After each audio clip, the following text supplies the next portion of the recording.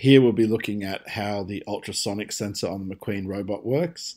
If you're not familiar with an ultrasonic sensor, it basically puts out a very high pitched sound, uh, something in the range that humans can't hear, and it detects the uh, bounce back of that sound off objects and it calculates then a distance.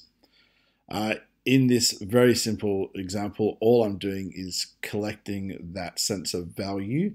Uh, we can see that here with the sensor unit, uh, which is currently being returned as a centimeter value. Uh, and I'm just using that in a, a, basic show number for the Maqueen. Uh, so it's actually showing on the little LED screen um, of the microbit. And I can see a simulation of that happening actually over here. Um, and if you program this onto your Maqueen robot, you should see something like this video here.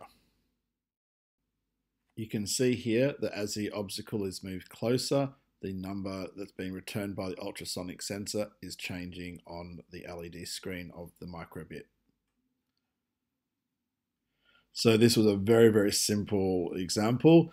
Of course, this uh, value here could be put into any number of different things. It could be used maybe to start or stop a motor or change the color of the lights or any other number of things where you might do some sort of logic against this value to decide what in fact you would do next.